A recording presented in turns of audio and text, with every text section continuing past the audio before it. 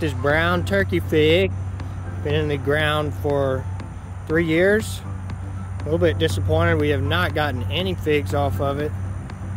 Um, maybe it's just this particular variety. We've gotten some on Celeste fig and LSU purple fig, but not on the brown turkey. This tree is about five foot tall, maybe eight foot wide. Been pruning it every year.